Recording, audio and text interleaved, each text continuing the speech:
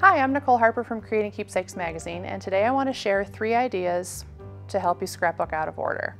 People ask all the time uh, for ways that they can not be stressed about being caught up with their scrapbooking. It's not something that I've ever found a problem. I just scrapbook whatever I feel like at that moment, but I know that a lot of people worry about it. So today we're going to tackle some of those ideas. In this first layout, uh, this one shows the past. Obviously, uh, the person in this photo was not able to scrapbook about herself back then.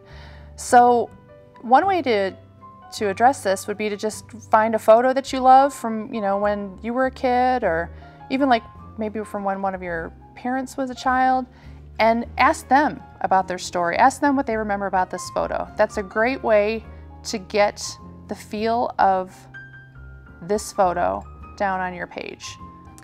Sometimes you have everyday memories you might not think about scrapbooking until you find a product that fits perfectly.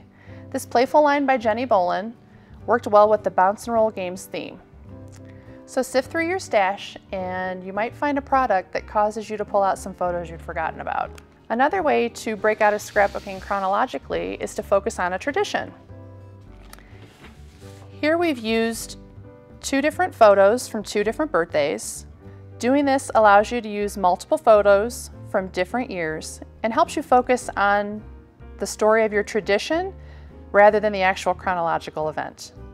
So hopefully some of these ideas we've shared about scrapping out of order will help lessen some of that stress you might have about keeping caught up with your photos.